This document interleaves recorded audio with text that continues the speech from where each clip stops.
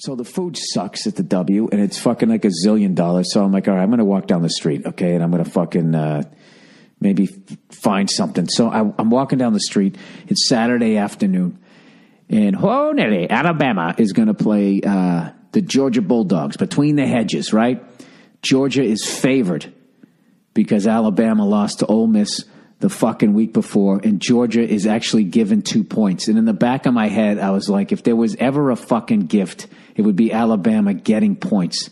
But uh, fortunately, I don't have access to a fucking um, a sports book, so which is good because that saves me a bunch of money. Because anytime you're sitting there thinking like, "Oh my god, this is a fucking gift," you end up losing. So I walk down the street like two blocks not even a block and a half, and I see this pub. I'm like, all right, I'm going to go in there. Turns out it's this fucking insane cigar bar slash sports bar. I pop in there, right? There's this fucking guy sitting there, this southern dude with, with the Georgia Bulldog logo on. And then there's like this old Jewish dude sitting there. Old Jewish dudes are the fucking best, man. They're the fucking best. Give you ridiculous, ridiculous fucking life advice at the most easygoing pace ever. Are you married? Are you in love? Well, that's good.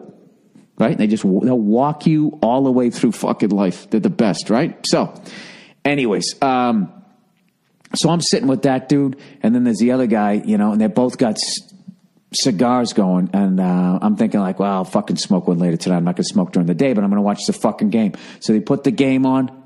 The crowd's going nuts, right? Fucking Georgia Bulldogs are jumping up and down. Alabama comes out, they get right in their fucking face. I'm getting amped up like I'm going to play the game, right? And it's a cigar bar, so it's a chill fucking vibe. You can hear the game, everything's great. All of a sudden, right, it literally is the fucking game's going to start. This tabletop of five or six people walk in with this fucking smug jackass who just has a fucking opinion on everything that he thinks is so goddamn fascinating, which is kind of funny to hear me say, but at least I know I'm a moron. God knows I got an opinion on everything, but I know I'm a fucking moron. And I also know that when you go into a fucking cigar bar, it's an old man vibe. Okay? Inside old man voices, right? This fucking fat cunt. I swear to God. Remember that show, Jake and the Fat Man? He looked like the fat man. He sits down and proceeds to start speaking as loud as you could possibly fucking talk without yelling. And he keeps talking about these, he tells this fucking story like three times about these cigarettes he got in London that for some reason are not legal in the United States. He, and he kept going like, it's London, but you cannot get them here. I've tried to order them, but they are not legal. And he, it would always end it the same way. They are not legal. And then he'd go, why? I don't know. Told that story three times. He only told it twice, but I want to say it felt like fucking three. And uh, as he's fucking screaming, I finally look over at the old Jewish dude. I'm like, if you, it's like, you, you believe this guy? And the old Jewish guy said something like, you know, I, I feel the same way like when you get on the plane and there's a baby crying next to you. And I laughed. I go, yeah, but this guy should know better. And then the guy goes, all right. He goes, and he fucking, he just got up and left. You know, because he, what he had on him, he had this beautiful fucking Cohiba. And he knew better. He's like, I'm not going to fucking sit here and smoke this unbelievable cigar with this fat fuck screaming across the goddamn room. Right? That'd be like if you had uh, like a great glass of wine and the whole time you're drinking it, there was some guy yelling in your fucking ear.